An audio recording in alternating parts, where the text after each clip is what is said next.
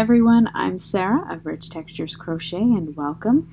Today we're going to learn how to crochet the men's thermal scarf, which you can see a little bit of here in front of you.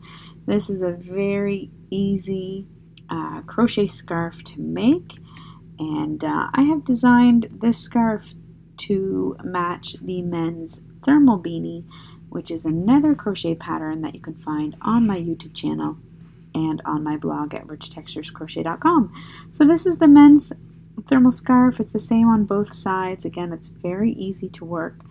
And uh, for this pattern, you're going to need about um, 500 yards altogether uh, of uh, a lightweight yarn. I'm using this Lion Brand Superwash Merino yarn Again, it's a lightweight and that one's a 100% wool.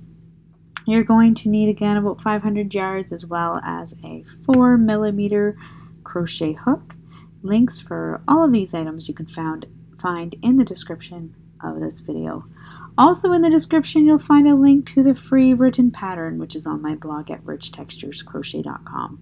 So thank you so much for joining me and uh, while you're here I invite you to subscribe take a look around, find that other men's thermal beanie to complete your set, and uh, enjoy the many patterns and stitch tutorials that you'll find here. Also, as always, don't forget to subscribe. Now I should have mentioned at the beginning, for the pattern you are going to need two colors to make that striping effect, about 250 yards of each color.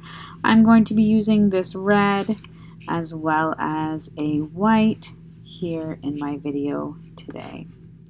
So for this pattern, it is worked lengthwise and uh, the finished scarf measures approximately 5.5 inches by 75 inches laid flat. Now if you would like to change the size of your scarf, you don't need any particular uh, stitch count. You can just simply crochet your foundation chain to the desired length. So today I'm going to start with my color A by chaining 360 chain stitches.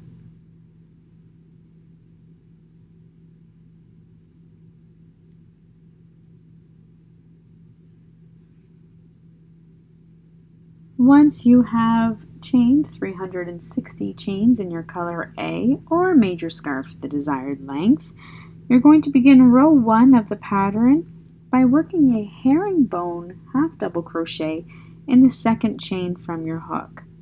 Now to work the herringbone half double crochet, you're going to yarn over, insert your hook into that next stitch, so into the second stitch in this case, yarn over and draw up a loop, also drawing that loop through the first loop on your hook. You'll only have two loops on your hook then, yarn over, and pull through both. You're going to do that in each chain all the way across. Yarn over, insert your hook into that next chain, yarn over and draw up a loop, also drawing it through the loop that was on your hook. Two remaining loops, yarn over and pull through two. You're going to continue doing that all the way down your scarf, the length, and then at the end, chain one and turn your work.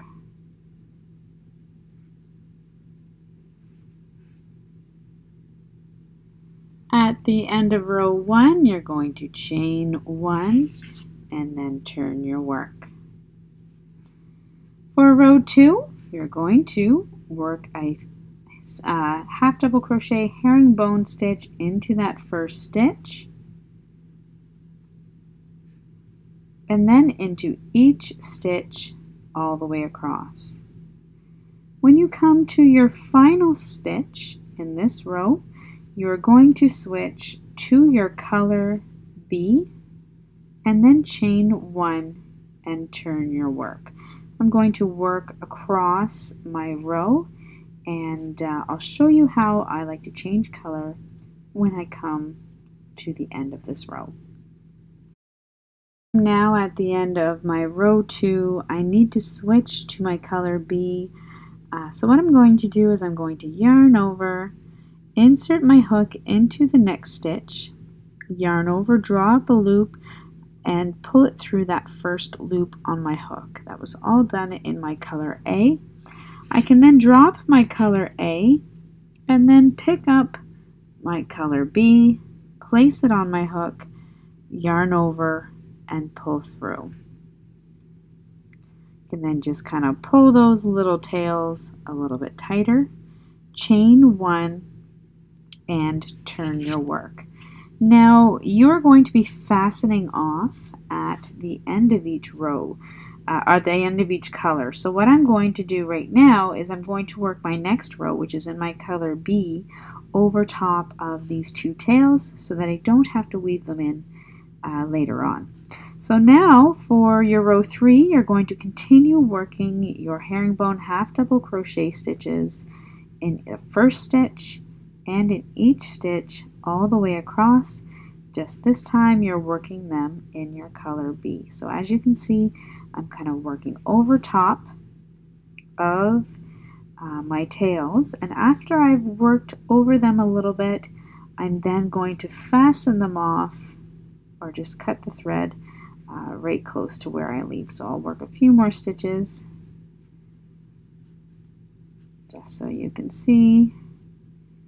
And when I'm happy with how far I've worked over top of them,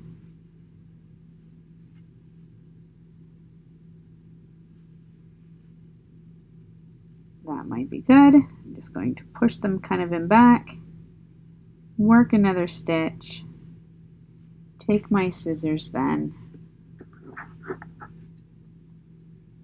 and just trim those two ends. And then that way at the end, uh, there's not as much left for me to weave in.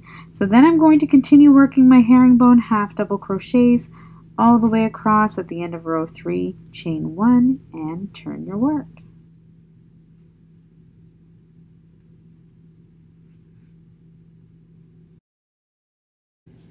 At the end of your row 3, chain 1, and turn your work.